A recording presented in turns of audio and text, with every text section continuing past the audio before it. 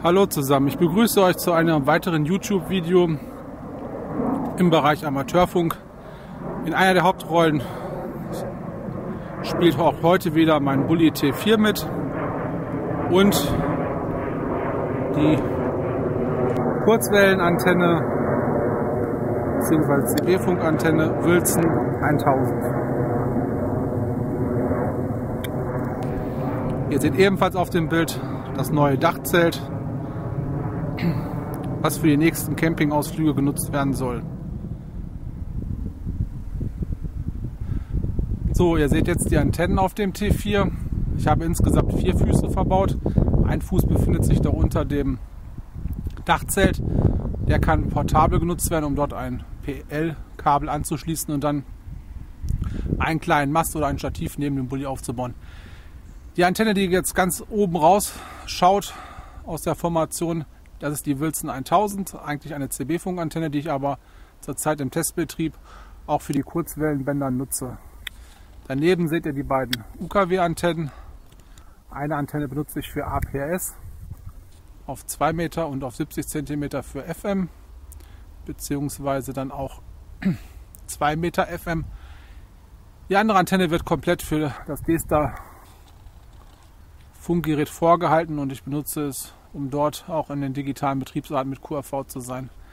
Also insgesamt sind zurzeit drei Antennen fest auf dem Bulli aufgebaut. Zweimal UKW, 2,70 Meter cm und einmal Kurzwelle bzw. CB-Funk. So, wir befinden uns wieder im Bulli. Zu den Arbeitsbedingungen zurzeit. Laut Internet ist der solare Fluxindex für 10 Meter schlecht, für 15 Meter ist er okay. Deswegen werde ich meinen ersten Versuch jetzt nicht auf 10 Meter, sondern auf 15 Meter starten. Außentemperatur sind zurzeit ca. 5 Grad. Es scheint keine Sonne, also nicht optimale Bedingungen fürs 15 Meter Band. Ich habe jetzt mal den Worst Case simuliert, also simuliere den jetzt gerade mal. Das heißt, die zweite Batterie vom Bulli ist alle. Das Funkgerät kann nur noch über den Akku betrieben werden. Ich habe mich jetzt für eine Leistung entschieden von 8 Watt. Damit wären wir noch unterhalb der Leistungsdaten für den CB-Funkbereich, wie jetzt Zeit äh, anerkannt ist oder erlaubt ist. Und ähm, damit wären wir auch noch voll im, naja, nicht ganz im QRP-Bereich. Also ändern wir das Ganze mal auf 5 Watt QRP. Also wir machen jetzt 5 Watt SSB, QRP-Betrieb. Antenne ist immer noch die Wilson 1000. Ich jetzt mal kurz anpasse. Wenn wir jetzt gucken. SWR ist also bei 1 zu 1. Ich kann auf dem Monitor einige Signale erkennen. Jetzt gucken wir mal. CQ. Da ruft jemand CQ, nämlich uh, Call Sign. Zack. Play.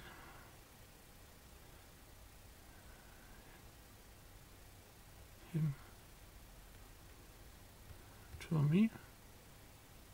Warte mal, jetzt ruft er nochmal zu. Kurz warten wir mal kurz.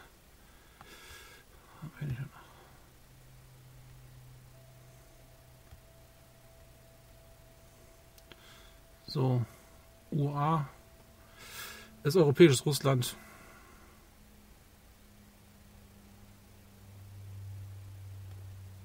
So, jetzt antworten wir ihm mit 5 Watt. ALC, also schon ein bisschen kräftiger. Stopp.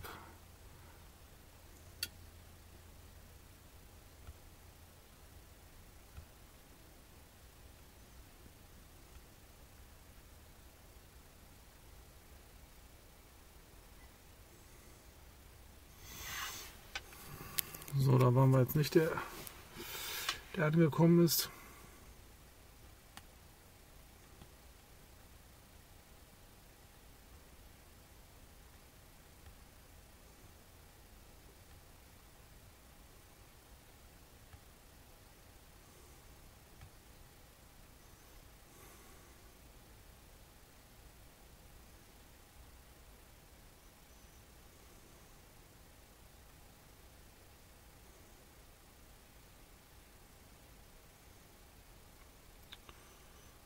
Man sieht, führt er da gerade ein nettes QSO.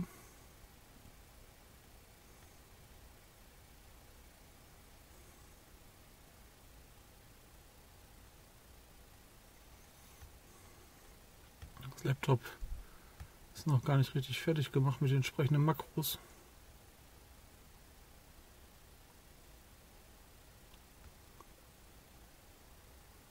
So, jetzt warten wir mal weiter ab, was da so passiert auf dem 15 Meter Band.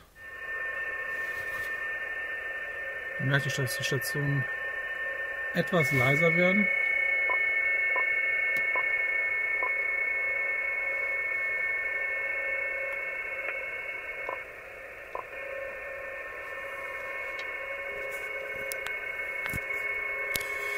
So.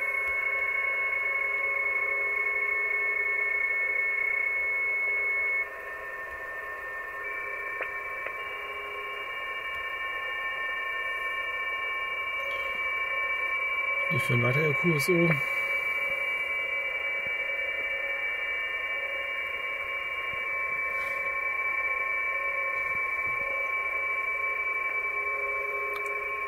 Man kann jetzt ehrlich auch nicht erwarten, mit 5 Watt sofort auf Anhieb eine Verbindung hinzubekommen.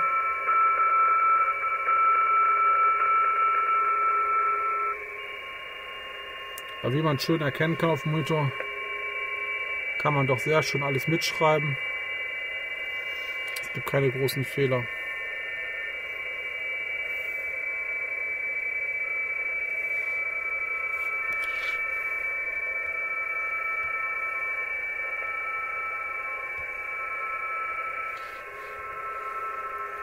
Schnell die Frequenz richtig machen, dass er auch richtig im Log steht.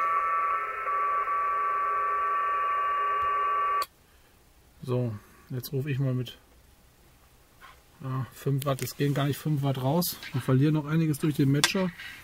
Das heißt, ich mache jetzt mal ein bisschen mehr Leistung.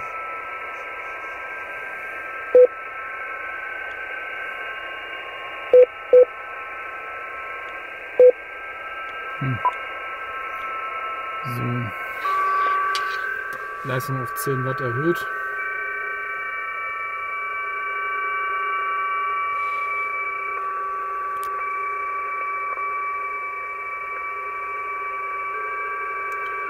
Jetzt ruft er wieder CQ.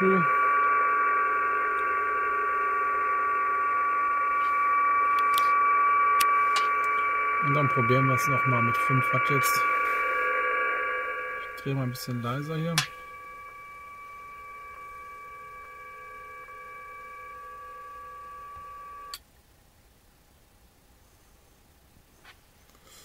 So, jetzt gehen circa raus an der Antenne. Der Akku ist nicht ganz voll. Das sind jetzt noch nicht mal 5 Watt, also wir gehen jetzt mit unter 5 Watt jetzt raus. Mal gucken, ob das jetzt funktioniert hat.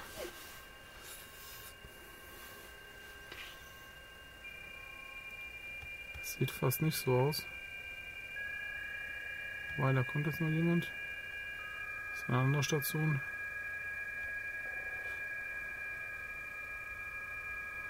Okay.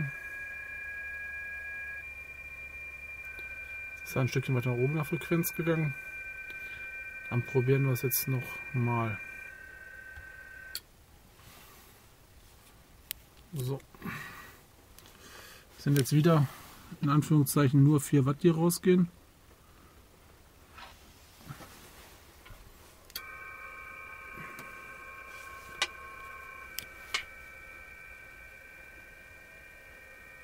Er ruft schon wieder CQ, das heißt, er wird mich nicht gehört haben.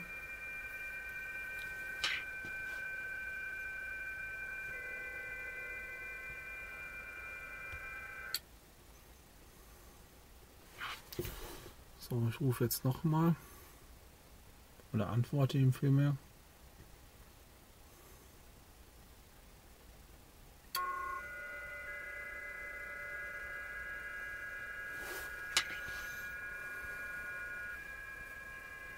So, er ruft schon wieder CQ. Jetzt machen wir ein bisschen mehr.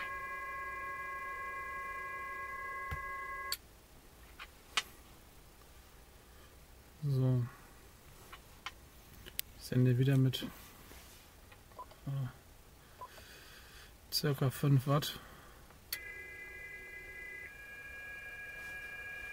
Er ruft schon wieder CQ.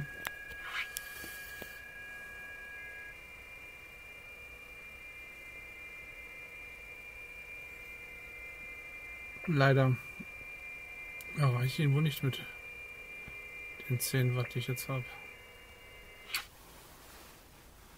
Na, sagen wir mal, es sind ja gar keine richtigen 10 Watt.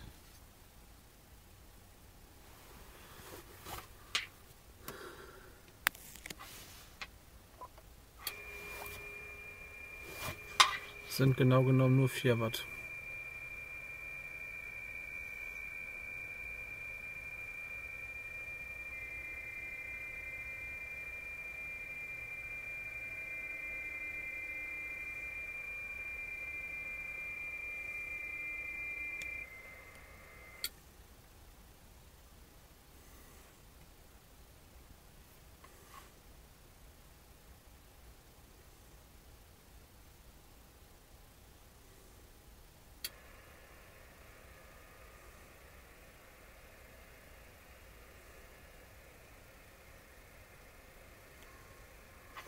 So, das Band ist jetzt aber extrem still geworden.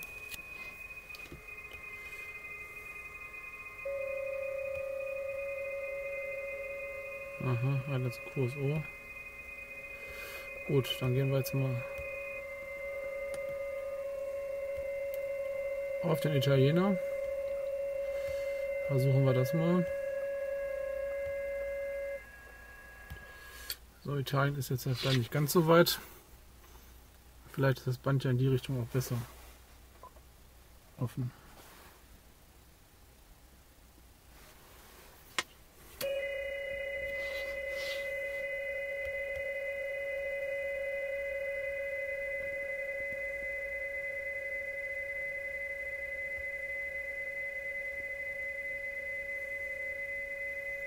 Okay, ein extrem starkes Signal ist direkt daneben.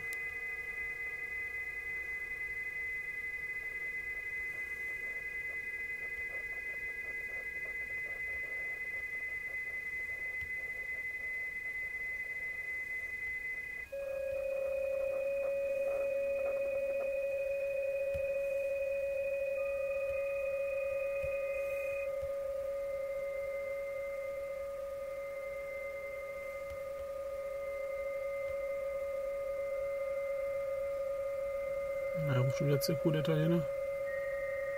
Jetzt hoffen wir dass wieder die starke Station daneben sendet gleich. So. Jetzt geht raus eine Leistung von circa ja, 4 Watt. 4 Watt geht da jetzt raus Richtung Italien.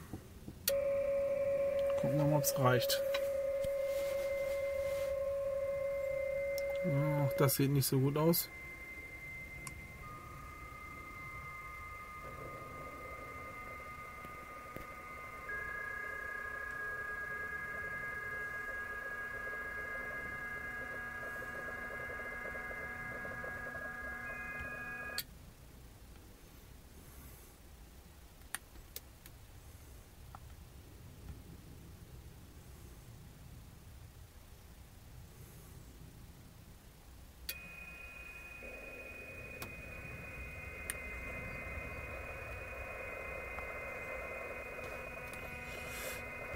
Ruft jetzt schon wieder CQ.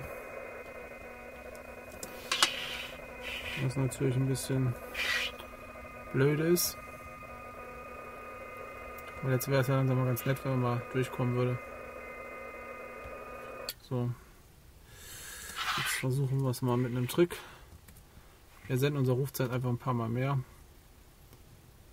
Ja, mit immer noch knapp an die 4 Watt QAP Betrieb.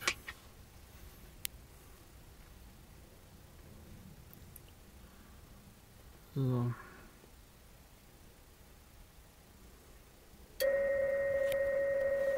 Ja, auch schon wieder CQ.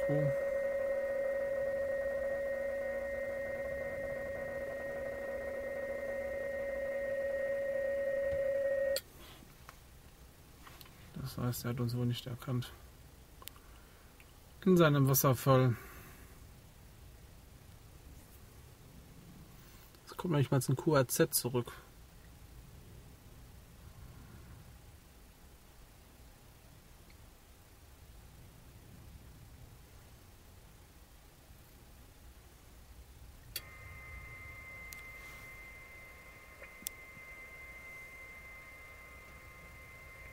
Er ruft schon wieder CQ.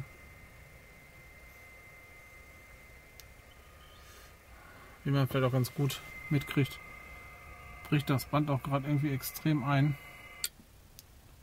Aus welchem Grund auch immer. Es regnet auch inzwischen. Vielleicht sind einfach die Bedingungen auch nicht dafür da, um mit QRP-Betrieb jetzt extreme Distanzen zu überbrücken.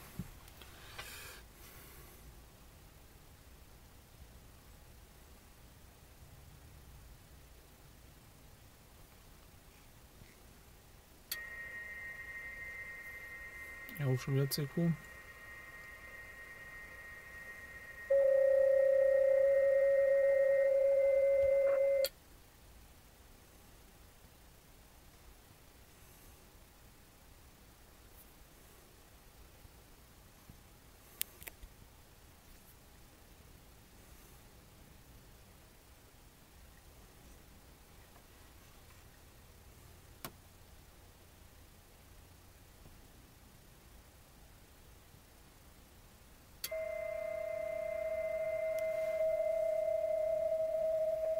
Oh, schon wieder CQ.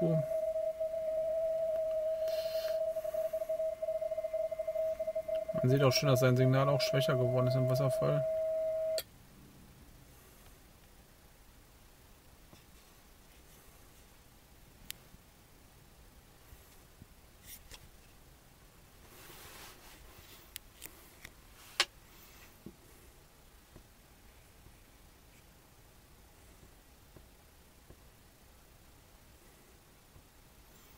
Das ist QAP. Wenn man mit wenig Leistung um die Welt will.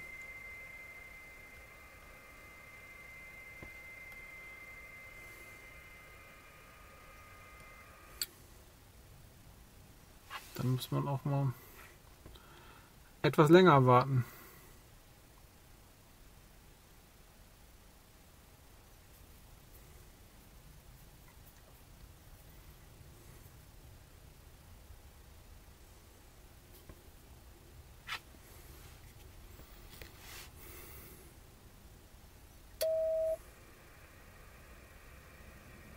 So.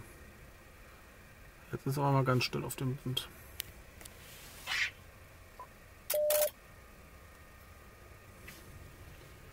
Das sieht bald so aus, als ob das Band jetzt komplett eingebrochen ist.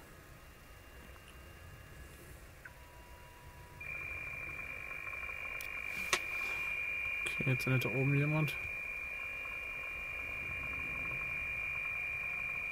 Aber ein sehr, sehr schlechtes Signal aus. Hat ja bald das ganze Band.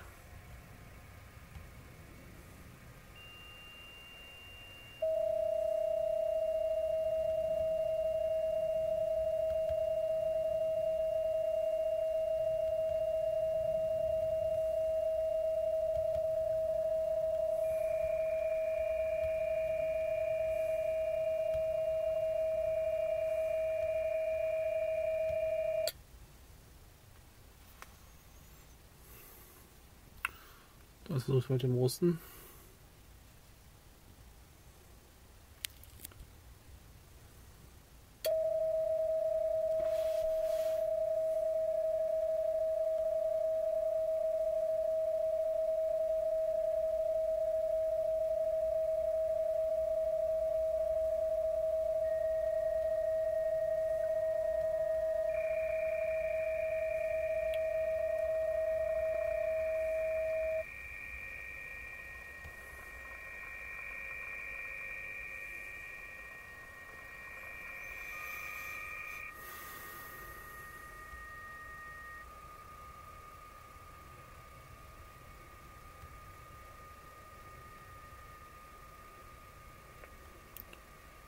So, jetzt kann ich mir noch hinstellen und selber mal CQ rufen. Vielleicht reagiert ja jemand drauf. So, mir ist jetzt doch mal ein QSO gelungen. Ähm, und zwar jetzt nach, nach Europa, europäisches Russland. Ähm, ja, gute zweieinhalbtausend, ja, 2100 Kilometer. Und ähm, wie ihr genau sehen könnt, er bestätigt mich. Und ich sende ihm jetzt zurück schreibe ihm jetzt noch mal kurz zurück. Power 4 Watt QRP. So, der hat noch dazwischen. Zack. So, also man sieht, man kann schon mit der Antenne arbeiten. So, mir ist inzwischen jetzt doch ein QSO gelungen, wie man sehen kann. Und zwar nach Russland, europäischer Teil von Russland. Das Ganze mit ja, 4 Watt. Ich habe ihm jetzt gerade mal was rübergeschickt. Man kann also super erkennen, dass man ihn super lesen kann.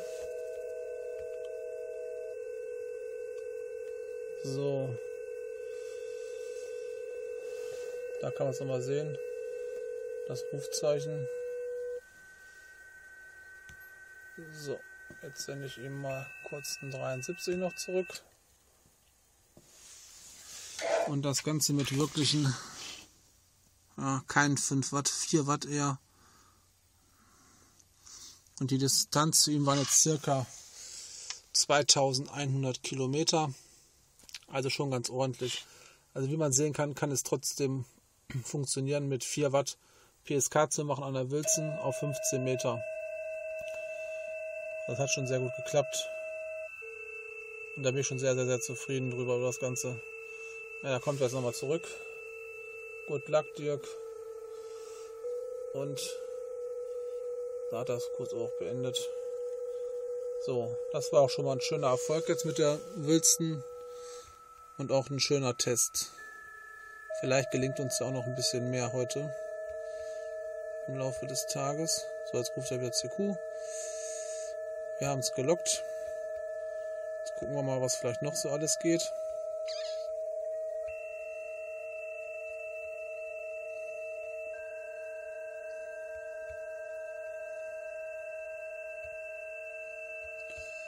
Ich gucke mal in den Super-Browser. Da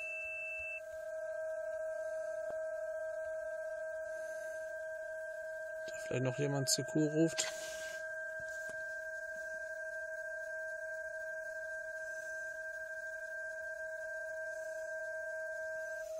Das sieht aber zurzeit nicht so aus.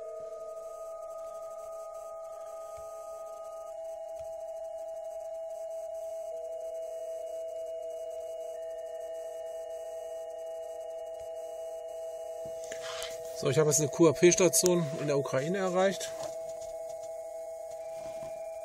Sie ist nicht so stark, aber man kann sie mitschreiben. so halbwegs QTH ist.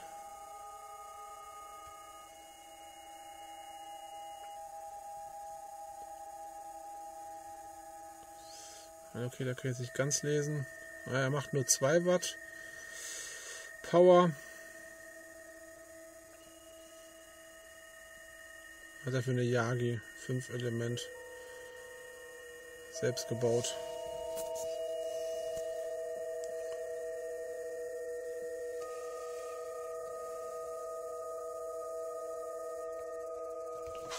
Ich schreibe noch kurz auf. 4 Watt Power. Come now. So, jetzt sende ich. 4 Watt Power on will Son 1000 Klammer auf CB. Antenne. Da grinsen wir jetzt noch eine Runde. So.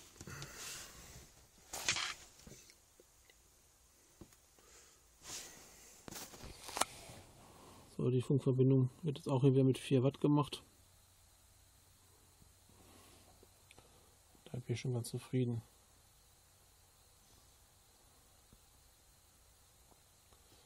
So, die genauen Kilometer werde ich nachher mal ausrechnen, was dabei rauskommt. Aber das wird schon eine ganz schöne Distanz gewesen sein jetzt gerade. Also wie man sieht, die Antenne funktioniert. Wir sind natürlich auch hier in einem sehr ungünstigen Bereich. Unten bei 300 Kilohertz. Empfangsspektrum.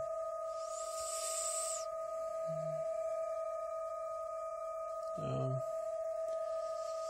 Das Band ist auch irgendwie jetzt schon wieder so ein bisschen arg eingebrochen. Aber da kommt er nochmal zurück. Da ist mein Rufzeichen wieder ganz klar zu lesen. DO7DP. QRP. Antoloni. Das habe ich bei der ganzen Filmerei leider vergessen, das Logbuch auszufüllen. Naja, das muss ich nachher nochmal machen. Alles klar. So, er bedankt sich für das nette QSO. Ich bereite dann schon mal die. Wir wünschen uns alles Gute aus der Ukraine.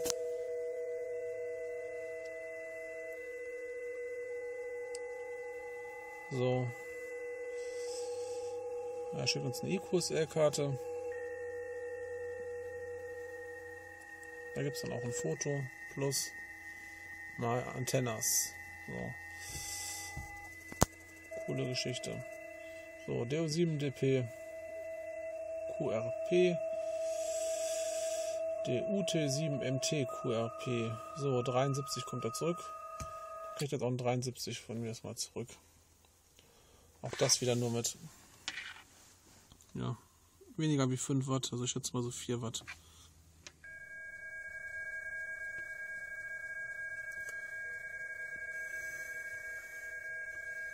Also wenn der Wasserfall sich so betrachtet, empfängt die Wilson doch, ich denke, recht gut. Man kann auch viele Signale sehr, sehr gut mitlesen. Und insgesamt sehr schon sehr gut, auch wenn der S-Wert zurzeit sehr, sehr gering ist, ist abgefallen auf S0, aber man kann trotzdem sehr, sehr viele Stationen ordentlich mitschreiben. Und wie man ja auch gesehen hat, kann man ja auch Verbindungen aufbauen. Man muss halt wirklich beachten, dass die Arbeitsbedingungen zurzeit extrem schlecht sind. Die Temperatur ist noch weiter abgefallen. Wir haben jetzt 3 Grad inzwischen. Und äh, Sonnenaktivität ist überhaupt gar keine da. Und äh, das ist natürlich alles nicht sehr vorteilhaft fürs 15 Meter Band, aber generell ist es natürlich schon ähm, eine schöne Geschichte, so jetzt mit der Wilson arbeiten zu können. So, da war jetzt sogar eine Station aus Amerika zu lesen. Ja, versuchen wir die jetzt erstmal zu arbeiten. So. Sind wir schon wieder im europäischen Russland angekommen mit unseren Funksignalen. Das ist sein Name ist Serge.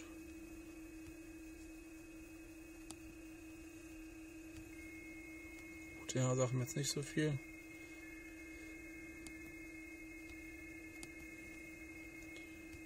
Okay, So. Das ist ja nicht immer mein Text.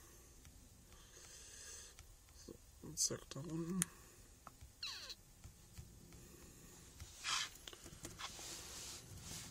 Oh. Copy. Sick. Mal. Mal. Power. 4 Watt QP. So. Das ist jetzt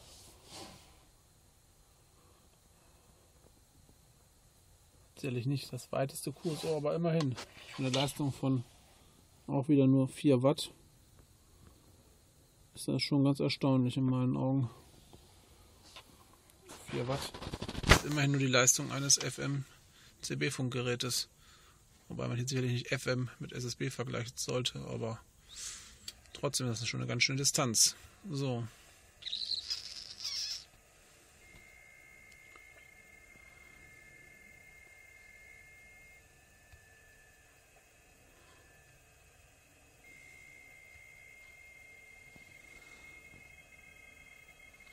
So, wo ist er hin? Da kommt er wieder. Ah, sind jetzt einen längeren Träger. Ah, jetzt kommt noch eine. Sorry, no copy. Sorry, no copy. Ähm. No. Ah, QSB and QRM. No copy, sorry, so. Dann machen wir das jetzt nochmal. Ich nehme jetzt einfach nur äh, die 5.9.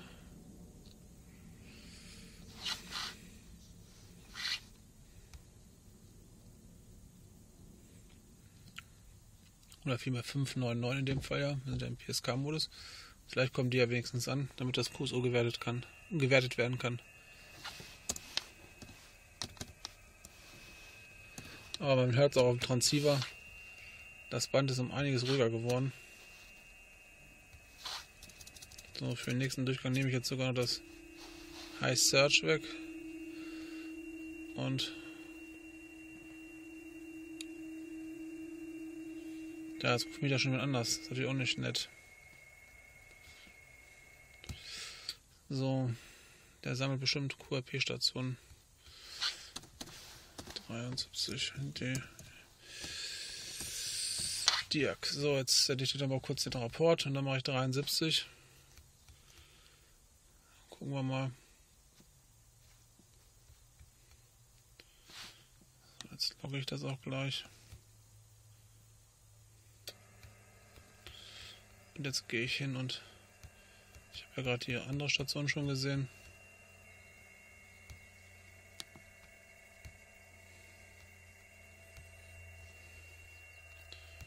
Jetzt sende ich dem einmal ganz, ganz kurz eine Info.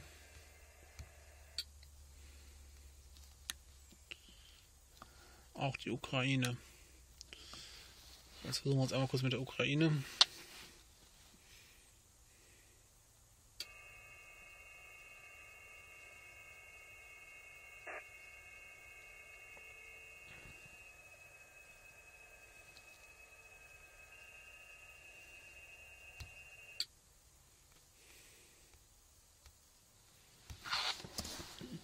RST 599 599. Vielleicht hat das ja. Oder vielmehr liest es.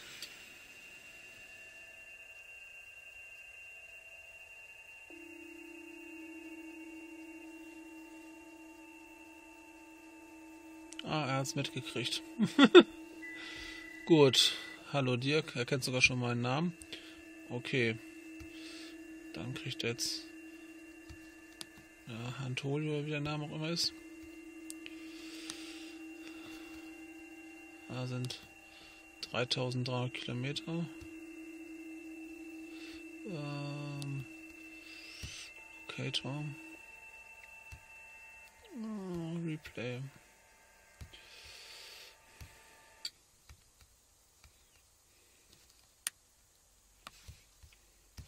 So. All. Copy 4 Watt Power. So, der gute Raum ist falsch. So. Alles klar.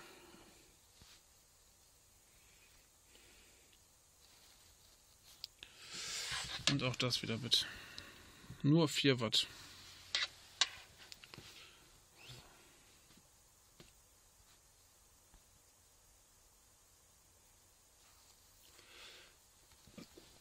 So. Zack.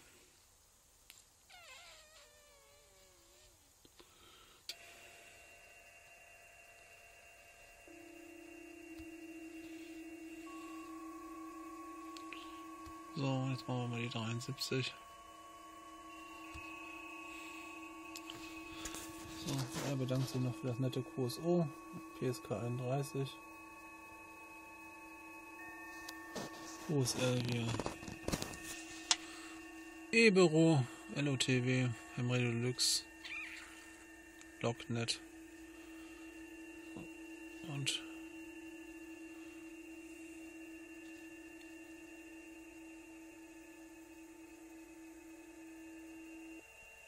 da war das SK und jetzt kriegt er noch seine Verabschiedung im QRP-Modus. Als zwei Verbindungen in ja, circa sieben Minuten.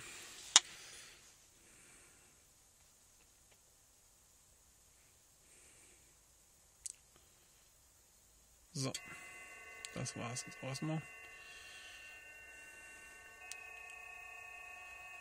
So gehe ich mal hin.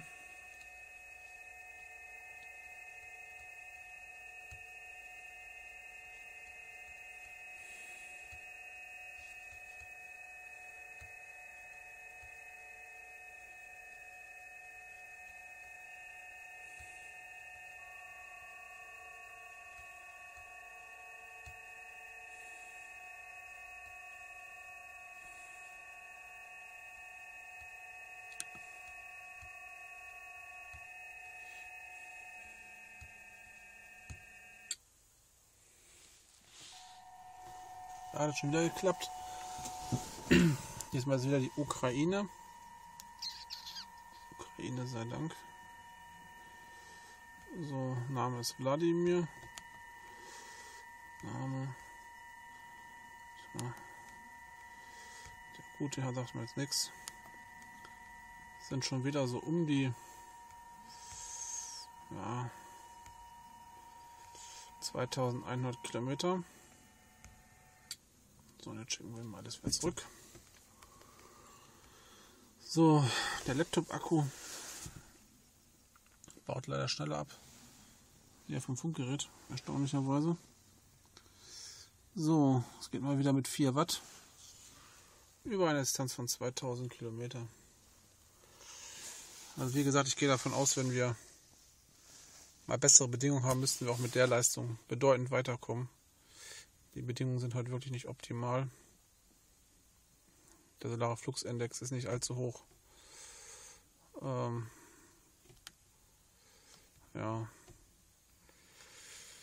Wie gesagt, kein Sonnenschein. Es hat gerade geregnet und und und. Das alles hat natürlich äh, zur Folge, dass die Ausbreitungsbedingungen vielleicht nicht ganz so gut sind, beziehungsweise eher schlecht.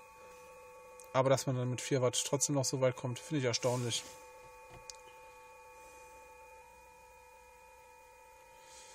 So. Da kommt er auch schon wieder.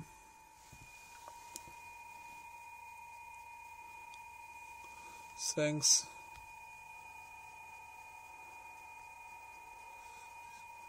So.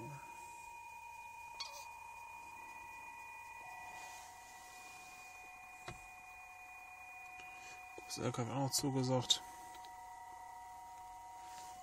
Da ist das SK. Und jetzt sende ich ihm was zurück. So, jetzt haben wir das nächste QSO. QTH ist irgendwo in Spanien. Das ist ein Special Call. Ähm so. Machen wir mal so. Löschen wir mal kurz den Text. So.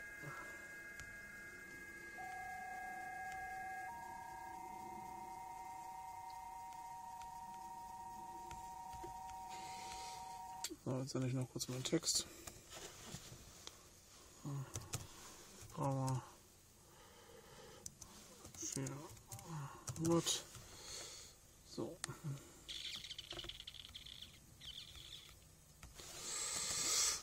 74. Nee. Dirk machen wir dann da noch draus. Der hat schon mit SK ja schon geantwortet, ist auch eine Special Station. Dann machen wir da mal ein SK draus.